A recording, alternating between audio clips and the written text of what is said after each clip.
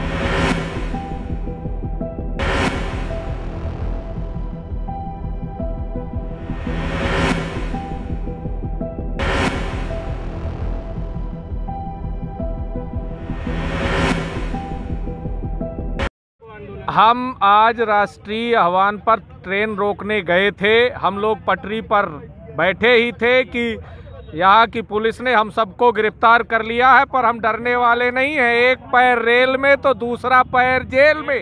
लेकिन मैं लेकिन मैं कहना चाहता हूँ देश की हुकूमत को देश की सरकार को ये किसानों से पंगा लेना आपको महँगा पड़ेगा। जल्दी से जल्दी तीनों कानून काले कानून वापस लीजिए अन्यथा आपका सुपड़ा साफ़ कर देंगे और जो किसानों से टकराएगा चूर चूर हो जाएगा।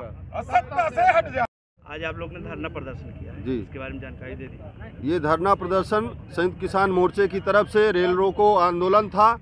और राष्ट्रीय काल मुताबिक आज हम लोगों ने रो, रेल रोकने का काम किया और जैसे हम लोग पटरी में धरना दिए कुछ ही देर बाद वहाँ पर मोदी सरकार की पुलिस ने मोदी सरकार की हुकूमत ने हम लोगों को गिरफ़्तार करने का काम किया है। लेकिन हम लोग घोषणा करते हैं इस मंच के माध्यम से कि जिस तरह से आपकी दुर्दशा पंजाब की जनता ने किया है यही दुर्दशा आप देश का किसान करेगा और नहीं तो आपको काले कानून वापस लेना होगा। ये चेतावनी मध्य प्रदेश के रीवा ज़िले से संयुक्त मोर्चा के किसानों द्वारा की जा रही है।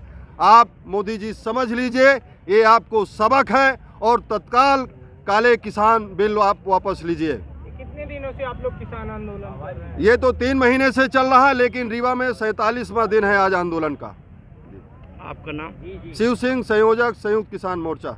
वॉइस ऑफ़ राइट्स के लिए रीवा से नितेश सिंह गहरवार की रिपोर्ट।